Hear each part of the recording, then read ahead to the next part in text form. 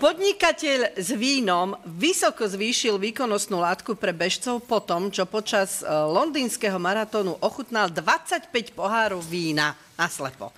Vypil tak jeden pohár takmer na každom druhom kilometri. Uh, citujem, bol som totálne vyčerpaný, ale bol to skvelý deň, vyhlásil Tom Gilby. Z 25 pohárov uhádol 21, hej, že čo to bolo za víno.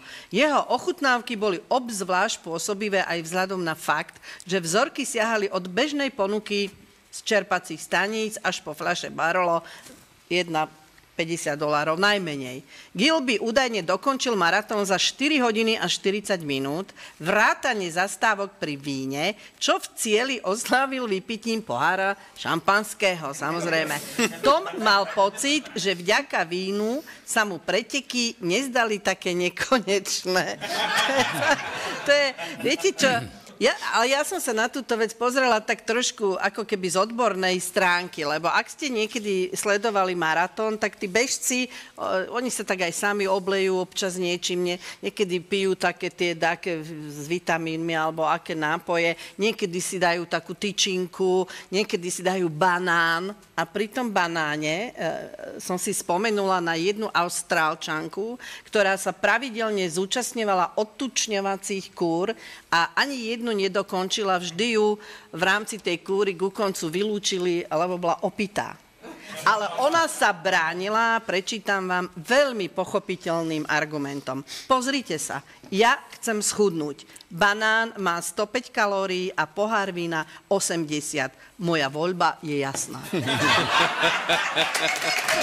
Je škaredé, keď sa športovci opíjajú. No, to nie, nie je to nič pekné, ale zase je chválihodné, keď opilci športujú. Potom sedia v krčme a spievajú si vínko, vínko, vínko červené. No ale keď to spievajú príliš nahlas, tak počuje ich manželka a potom e, sa trénujú v behu. Nie, tak akože... Ja som si spomenul, že, jak to Olga spomínala, však staré matere e, namáčali do alkoholu cumle deťom, keď plakali. Áno, Nie? To áno, sa robilo, áno. že namáčali cumle, tak ja zase svojej cére som robil to, že keď bola malá, tak ja som jej fúkal marihuanový dym do tváre. Nech sa smeje. Ale... Nie, šálim, ale... E, Si sa zľakol, že to takto vážne zoberie. Áno, šálim samozrejme. Ale takže toto je vlastne, že toto je to, že keď ma vlastne kamaráti volajú na vínu cestu, tak to je toto? To je... Asi, asi tento rok odmietnem, ale, ale ak... e, Ja chápem, že to ten, e, ako sa volal, e, Tom, Tom, Tom, Tom, Tom Tom. robil, lebo predsa len akože ten maratón je e, nudný a náročný, veľmi náročný a, a, a to, že akože on si e, pomáhal be, bežať, je to ako aby, aby si spríjemnil tú cestu trochu, lebo, ale ja obdivujem to, lebo ja by som nebežal a nikdy. Aj teraz, keď sa minule pokazil výťah v dome, ja som iba na št- po štvrté poschodie som zvládol ísť, potom už som išiel po štyroch na osme, lebo som ne, nevládal. Čiže, čiže tiež pohárik, hej, na Áno, každom. ale mimochodom však, ale aj, aj Olga to povedala, že ten akože pohár vína je ako denne, to je, je to zdravé. Je to zdravé, každý kardiolog to povie. Tie ďalšie sú potom už, aby som bol teda vtipnejší a, a, a lepší tanečník. Ale to je konzistentné, čo si povedal. Keď na štvrté poschodie, tak po štyroch, nie? To má, má to logiku. Keď na osme po osme. Tak. To je už len pavúk môže. Len pavúk.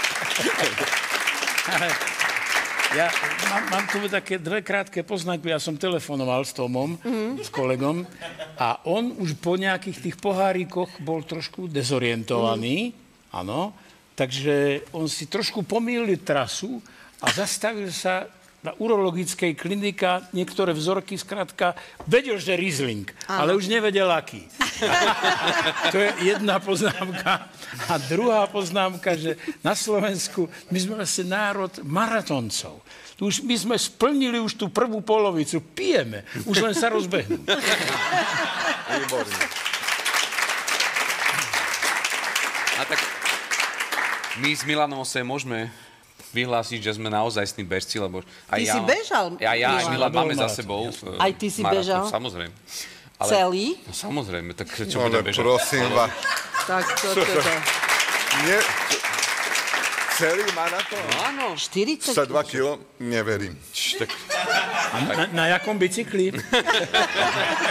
ale čo chcem povedať, že, a to sa naozaj stalo, si pamätám, sme dobiehali v, u nás v, Ko, v, Ko- v Košiciach do cieľa. Ja som dobehol a samozrejme tam to sú hrozné stavy, však no, to si zažil, že to si rád, že si tam ani nevie, že, že o sebe. A niektorý tam, tam, bol tam taký mladík, ktorý zjavne sa asi prepínal, lebo on do, do, dobehol, oprel tam o takú tú závoru, čo sú také tie, čo oddeluje mm-hmm. od toho. Tak oprel a zrazu iba, že uá, a vygrcal sa. A za to závor, ak tam stoja fanúšikovia, stal taký starší pán so synom, tak na ňu pozrel a hovorí, vidíš, a ja, mám, ja sa viem tam isto dostať bez toho, aby som sa 4 hodiny trápil.